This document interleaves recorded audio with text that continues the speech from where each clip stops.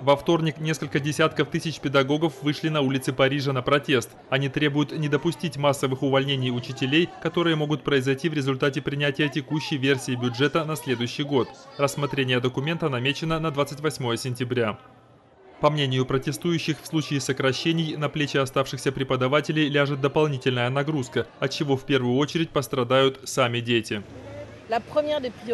Нашим наивысшим приоритетом является образование. Образование, потому что мы хотим, чтобы каждый ребенок добился успеха. Мы обсуждали с учителями вопрос необходимых реформ для создания рабочих мест, с тем, чтобы вернуть работников в социальную сферу, вернуть психологов и помочь им дальше заниматься своим делом.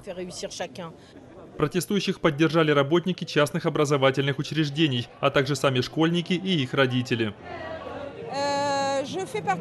Я работаю в частной школе, и большая часть частных школ присоединяется к протесту государственного образовательного сектора. Мы ждем действий. Никогда не знаешь, что в действительности может дать демонстрация. Но если ничего не делать, что же будет дальше?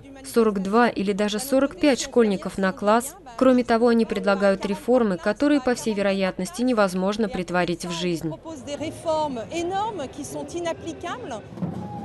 Аналогичные протесты прокатились по всей Франции.